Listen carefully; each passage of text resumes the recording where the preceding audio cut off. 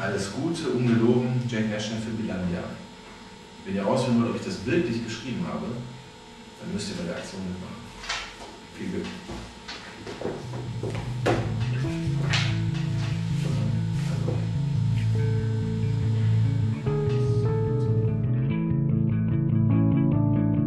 Verschenktes, vererbtes, zitiertes.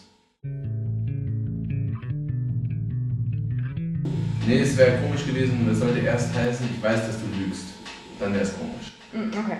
Und deswegen haben wir auch den Titel gerne was nicht verschenken kannst.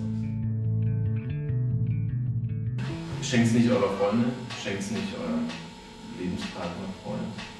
Das äh, könnte ein Sch- Schuss nach hinten werden. Und äh, schenkt es auch keinem, der damit ein perfekter Lügner werden